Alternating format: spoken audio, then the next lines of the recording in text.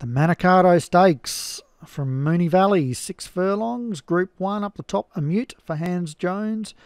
Journey's End, Radiance of Pigs, Haruno, Ningwo Nemo, Ningwo Nimi Run, uh, Amy Winehouse, Roly Poly, and Starlight Presence, the favourite, number nine for Darren Thompson at three to one. And they're racing.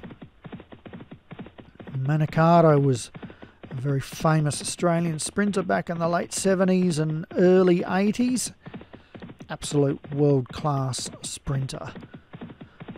And it's a mute in front from Journey's End, the Radiance of Pigs, Starlight Presence, the pre race favourite. One off the fence.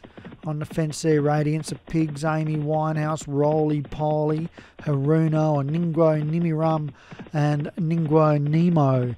Uh, caught for pace, three furlongs left to go. And the favourite pokes a nose in front. Starlight Presence from Radiance of Pigs. Journey's End. Out wider is Roly Poly. Running out of room there, Amy Winehouse. But it's Radiance of Pigs just in front as they straighten up. It's Radiance of Pigs from Starlight Presence who now takes the lead.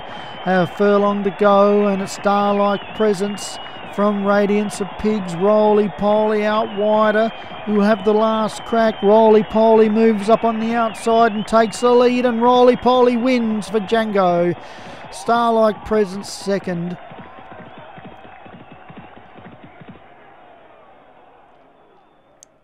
And the Radiance of Pigs has run third. So congratulations, Django, picking up a classic Aussie sprint race. Second, Starlight Presence for Darren Thompson. Third, The Radiance of Pigs, Joshua Sutherland. Fourth, Amy Winehouse for Molly at Surfer. And fifth was Ningwo Nimirum, who ran on well for fifth.